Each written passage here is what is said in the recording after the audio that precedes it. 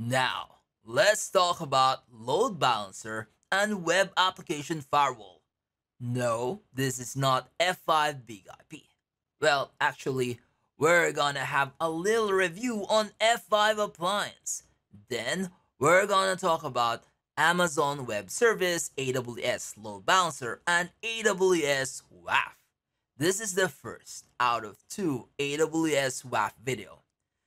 First, we will just compare our traditional on-premise load balancer with WAF infrastructure to AWS WAF. Then on the next video, we will do lab demonstration and test web application attacks or web hacking. For those who are new to this channel, welcome.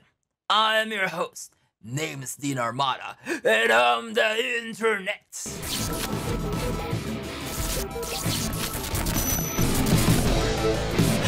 Star.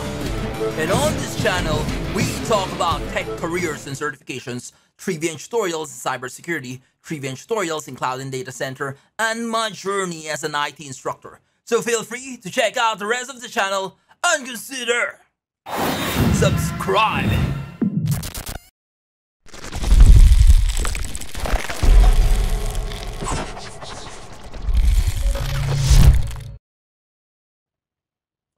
Let's have a little review.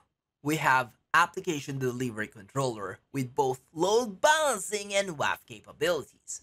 We also have web servers, which is most of the time running in Linux with web services such as Apache or Nginx. We also have WAF, Web Application Firewall.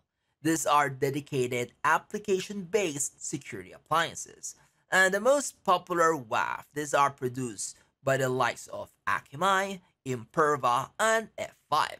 And when you say web application security infrastructure, we'll be focusing on the inbound traffic towards the web servers. These are the requests coming from many different clients to access web-based applications. Sometimes they separate WAF and the application delivery controller, or sometimes you can also consolidate both like what you see in the diagram. And as you can see, we only have a single appliance. In this example, this is the F5 Big IP device, and it uses LTM module to load balance the traffic. And we also use ASM slash advanced WAF module to protect from many web attacks.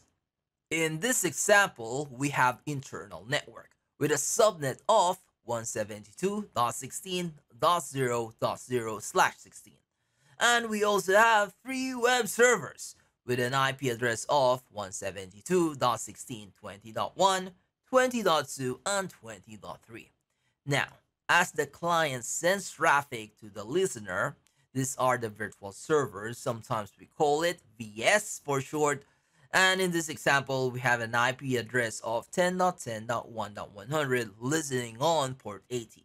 Okay, so the HTTP request will be processed by our F5 Big IP, our application delivery controller. It will do the load balancing so it can forward requests to the web servers using the LTM module. Now, the web application firewall is a feature or a separate appliance that uses application-based signature. You can create policy based on OWASP vulnerabilities and would automatically enable necessary signatures based on the technologies defined. This can be web services, programming languages, web framework, operating system, and many others. Again, it focuses on the inbound traffic towards the web servers.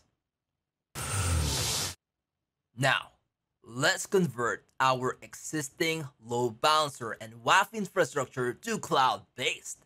This time is AWS Load Balancer with WAF capabilities. First, we're gonna remove the virtual server. Then we'll remove the two servers. We'll also remove the internal network. We don't need it. We will be using only Nginx service. And there should be a public network slash the internet between the client and AWS. We'll now add Or the virtual private cloud.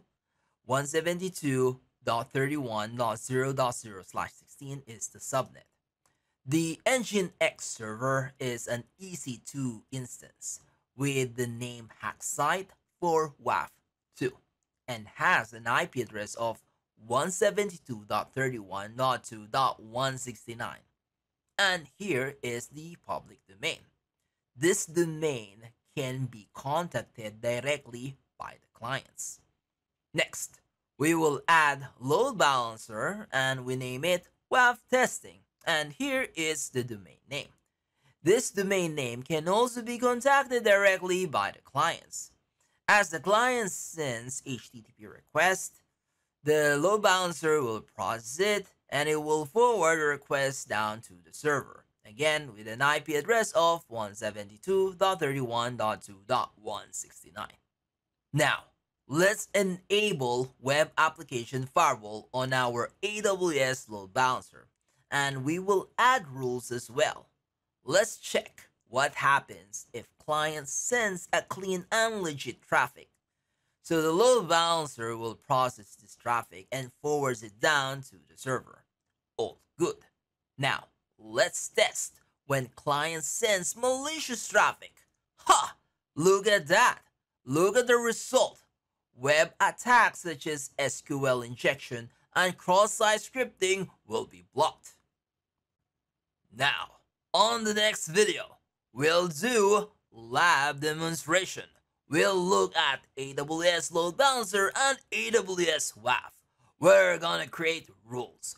We'll simulate web attacks. It's just basic SQL injection and basic cross-site scripting. We'll test it if AWS WAF is really working.